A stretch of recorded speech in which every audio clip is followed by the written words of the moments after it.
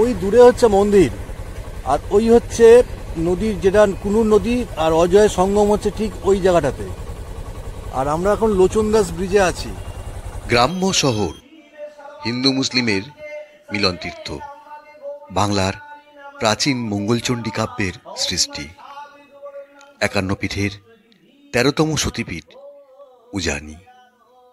যেখানে অনেকেই যান না, কারণ তাদের অনেকেই জানেন না। প্রচারের আলোয় সেইভাবে আলোকিত হয়নি বা আলোচিতই হয়নি। আজকের উপস্থাপনায় পূর্ব বর্ধমান জেলার কাটোয়া মহকুমার কোগ্রাম উজানি সতীপীঠ। শান্তিপুর, নৃসিংহপুর ঘাট, নদিয়া মাটির দাঁড়িয়ে আছি। আর এখান থেকে যাব হচ্ছে ওপারে। আচ্ছা ওপারে হচ্ছে কালনা ঘাট। এই হচ্ছে গঙ্গা। যারা ভবা বাংলার আশ্রম বাঁধতে চাইছেন বা একশো আট শিব মন্দির, শান্তিপুর থেকে নামতে হবে হচ্ছে নৃসিংহপুর ঘাট, এই হচ্ছে ট্রলার আর বড় ভেসেল ও পাশে যাচ্ছে।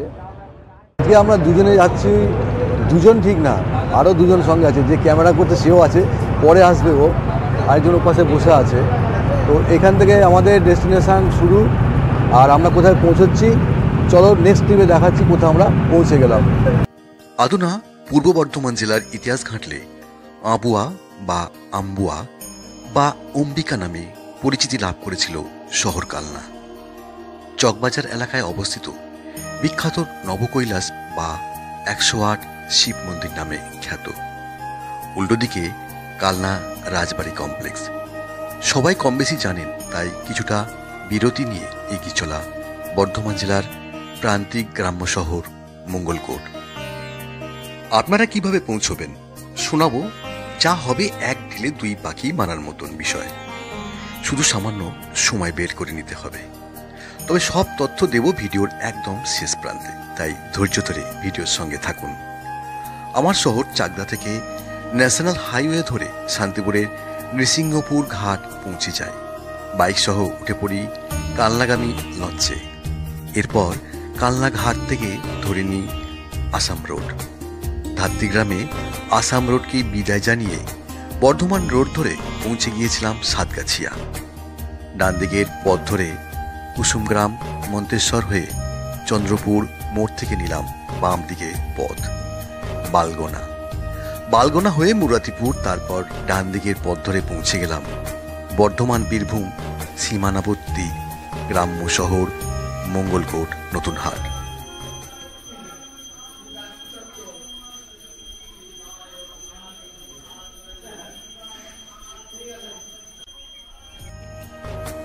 কাটোয়া।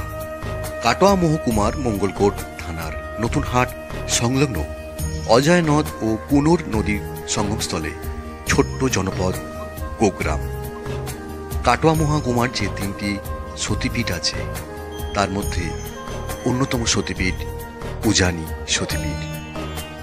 এখানে দেবী মা মঙ্গলচণ্ডী বা মা সর্বমঙ্গলার মন্দিরে দশভুজা সিংহবাহিনী দেবী মূর্তির দর্শন পেয়ে গেলাম।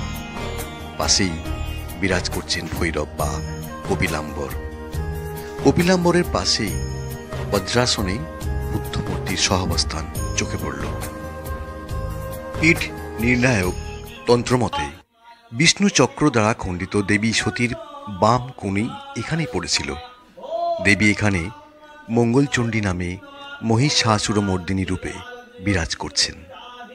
এই সতীপীঠ জুড়ে আছে অসংখ্য কল্পকাহিনী, কিংবদন্তি লোককথা। চণ্ডীমঙ্গল আখ্যানের শ্রীপতি সদাগরের কাহিনীতে বর্ণিত শ্রীপতি সদাগরের রাজধানী ছিল কিন্তু এই উজানি। পরম শিবভক্ত শ্রীপতি সদাগর দেবীর আজ্ঞা পেয়েও প্রথমে তার পুজো দিতে অস্বীকার করেন। যার ফলস্বরূপ চরম বিপর্যয় নেমে আসে তার জীবনে। পরবর্তীতে দেবী কৃপায় সেই সংকট থেকে মুক্তি লাভ করে শ্রীপতি সদাগর পুজো দেন দেবী মঙ্গলচণ্ডী মার কোনো প্রকার ধর্মীয় মাহাত্ম প্রচারে আমি বিশ্বাসী নই। প্রাচীন বাংলা রেলের ইতিহাস খুঁজতে গিয়ে পথের ঐতিহাসিক নিদর্শনকে অস্বীকার করতেও শিখিনি।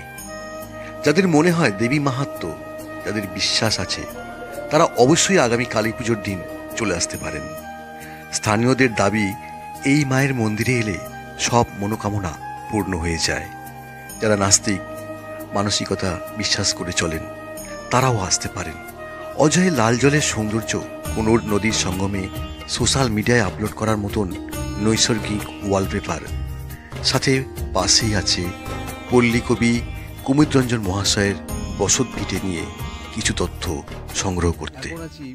বর্ধমান আর হচ্ছে বীরভূমের বর্ডার হচ্ছে এই জায়গা উজানি সতীপীঠ। অবশ্য উজানি বলে কেউ চিনবে না।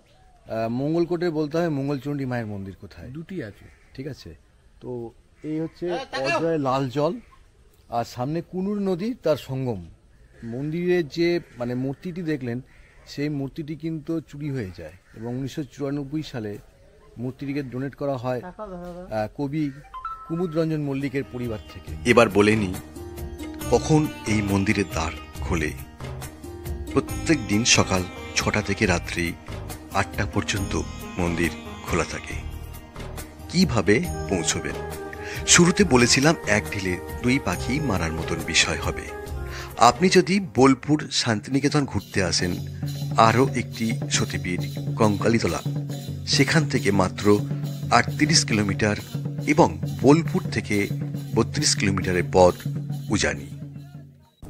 শহর কলকাতা থেকে যদি গাড়ি নিয়ে আসেন, তবে দুর্গাপুর এক্সপ্রেসওয়ে ধরে চলে আসুন বর্ধমান।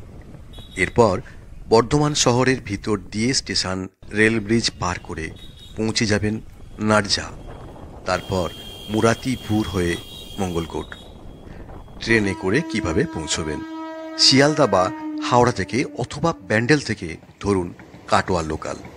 কাটোয়াতে নেমে বাস ধরে চলে আসুন নতুন হাট। অথবা ট্রেনে আসুন গুসকরা। এখান থেকে ষোলো কিলোমিটারের পথ। এখানে থাকার ব্যবস্থা আছে, কিন্তু ভোগ নিয়ে ফিরে আসাটাই বেস্ট কোথায় ফিরবেন? চলুন।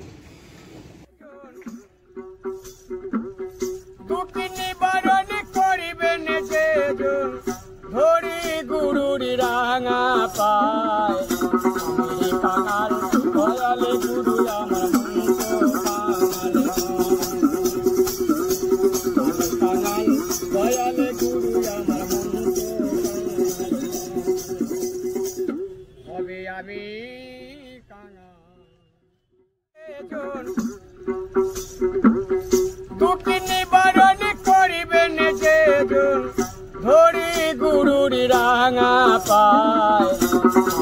কাঙাল দয়ালে গুরু